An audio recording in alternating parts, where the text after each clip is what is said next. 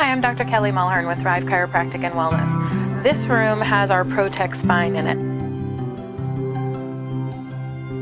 The Protect Spine is a unique machine that allows us to do vertical traction with patients. So as you can see, we have Michael in the chair already, and I'm gonna come and just place these straps across the front. Just loose to start with,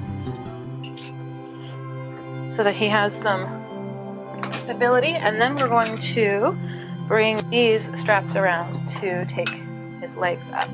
Michael, if you can raise this knee up to wherever it's comfortable. Good there? And then we're going to come around and do this side.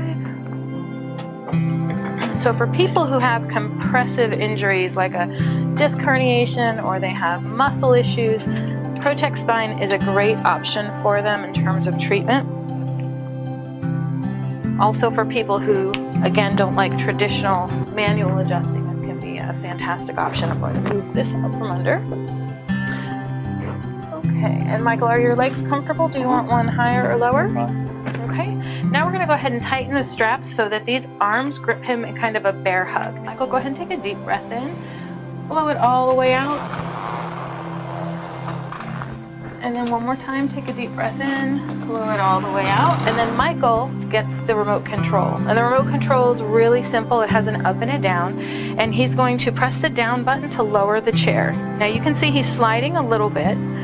The goal is to get him completely suspended, like so, and this allows his body weight and gravity to traction his lower back. Uh, and that traction will provide relief from any kind of compressive issue. It will also help if he has, for example, disc herniation. Once he's in that distracted position, I can then adjust him there. We can use the laser. We can also take him through different stretching routines to help stretch all of the muscles that play a role in low back pain. This chair also allows us to do a neck protocol. So for somebody who has a disc herniation in the neck or an upper cervical issue, we can help them with that as well.